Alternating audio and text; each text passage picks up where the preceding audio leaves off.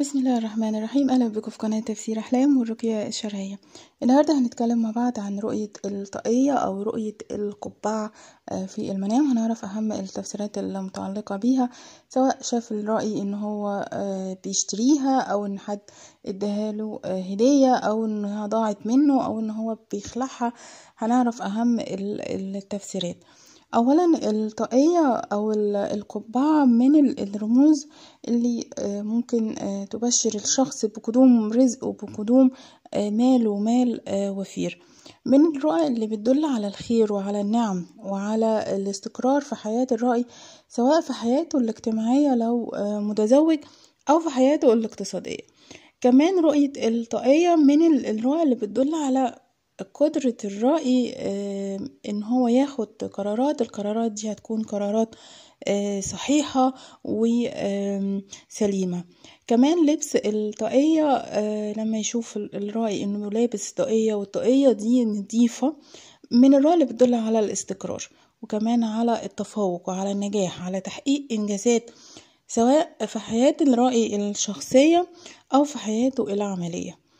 والعكس لما يشوف الشخص إنه لابس طاقية طاقية دي شوية متسخة أو غير نظيفة فالعكس من الرؤى اللي بتدل شوية على هموم أو مشاكل أو عدم استقرار في حياة الرأي بشكل عام. لما يشوف الشخص إنه بيرتدي طاقية مهرج أو طاقية بهلوان أحيانا بيدل على تعرض الرأي لحالة من الفقر أو العوزة. آه كمان الطاقية العسكرية لما يشوف الرأي إنه لابس طاقية عسكرية فدي مكانة آه هيحصل عليها وترقية هيحصل عليها في عمله ومكانة آه بين الناس. كمان لبس الطاقية الخاصة بالرياضة برضو من الرؤى اللي بتدل على النجاح وعلى التفوق وعلى تحقيق أحلام وتحقيق أمنيات. لما نشوف إن في حد بيهدينا بطاقية والطاقية دي سليمة أو بيهدينا بقبعة والقبعة دي سليمة شكلها حلو ومناسبة لينا فبشارة بتحقيق أمنيات آه كمان بشارة بقدوم الخير وبقدوم السعادة. لو الشخص غير متزوج سواء كان رجل غير متزوج أو فتاة غير متزوجة بيكون بشارة بالزواج والارتباط عن قريب. كمان الرجل لما يشوف إن في حد بيهديه بطاقية مصنوعة من الصوف الطاقية المصنوعة من الصوف ده بشارة بإن هو هيكسب مال والمال ده هيكون مال حلال. كمان الفتاة الأسباء لما تشوف ال ال في حد بيهديها بطاقية فمن الرموز اللي بتدل على استقرار مادي كمان استقرار في حياتها العاطفية بيكون بشارة زي ما قلنا بالزواج والارتباط. الطاقية للمرأة المتزوجة كمان بشارة بسعادة وباستقرار وتحسن في وضعها بشكل عام أو في حياتها بشكل عام. الطاقية الجديدة من الرؤى اللي بتدل على ثروة أو على مال أو على رزق واسع هيحصل عليه الشخص. كمان المرأة الحامل لما تشوف الطاقية فبيكون بشارة ليها بولادة سهلة بولادة ميسرة وكمان بصحة ليها وبصحة لجنينها من الرموز برضو اللي بتدل على سعة في رزقها. آه كمان شراء الطاقية. لما يشوف الرأي إنه بيشتري آه طاقية فبيكون آه برضو من الرموز لما يشوف إنها شكلها حلو. عليه آه فشراء الطاقية أو القبعة بشارة بتغييرات إيجابية هتحصل في حياته كمان بشارة بتحسن آه في أحواله آه للأفضل. شراء قبعة أو طاقية جديدة من اللي بتدل على فرصة جديدة في حياة الرائي ممكن تكون الفرصة دي خاصة بعمل جديد أو وظيفة جديدة أو ارتباط أو يعني فرصة بشكل عام. كمان شراء الطاقية من الرؤى اللي بتدل على منفعة وعلى عمل جديد للرأي على دخوله في مشاريع جديدة.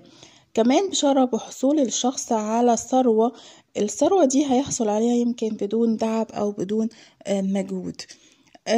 من الرموز برضو شراء الطاقية من الرموز اللي بتدل على بداية مشروع للزواج لما يشوف الشخص إنه بينزع إلطاقية أو بيخلعها فشوية بتدل على هو مش قادر يسيطر على أمر من أمور حياته بشكل طبيعي. آه كمان آه أحيانا إن في أشخاص ممكن يكونوا بيتدخلوا في شؤونه أو بيتدخلوا في قراراته. لما نشوف إن في شخص ميت هو اللي بيعطينا القبعة دي أو بيعطينا الطاقية فمعنى كده إن إحنا هنحصل على منفعة من ورا الشخص الميت ده سواء كان نصيحة يعني سواء كان منفعة بالاسم مثلا أو منفعة ميراث. كمان لما يشوف الرأي إنه بياخد طاقية من شخص ميت دي منفعة ممكن يحصل عليها من قبل حد من أفراد العائلة أو أهل المتوفي. كمان من الرموز لو كانت سليمة وكانت جديدة فده رزق ومال. لو مرأة متزوجة هيكون بشارة ليها بالحمل. لو فتاة عزباء هيكون بشارة ليها بالارتباط. كمان لو مرأة حامل فده سلامة ليها ولمولودها آه كمان لما يشوف الشخص إنه ضيع الطاقية بتاعته آه ضياع الطاقية من الرموز اللي بتكون غير آه مستحبة. اولا من الرؤى اللي ممكن تدل على حدوث مشكلات على حدوث آه أمر سيء للرائي على سماعه. أخبار للأسف هتكون غير آه سعيدة. ضياع الطاقية لما يشوف إن في رياح آه شديدة جدا ضيعت الطاقية أو خلعت الطاقية فأحيانا بيدل على حدوث أمور سيئة أو غير مرغوب فيها هتأثر بالسلب على حياة الرائي ضياع الطاقية كمان من الرؤى اللي بتدل على فترة هيمر بيها الشخص. شوية الفترة دي هتكون فيها حزن أو هتكون فيها تعب. ضياع الطاقية أحيانا بيدل على ضياع فرصة. ممكن كانت هتكون متاحة للرأي وللأسف الفرصة دي هتضيع.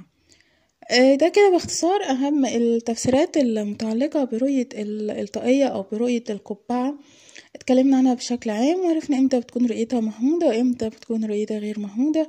بتمنى إن يكون الفيديو عجبكم. لو في أي سؤال أو استفسار اكتبولي تحت. أنا إن شاء الله هرد عليكم. بشكركم جدا وأشوفكم إن شاء الله في فيديو جديد.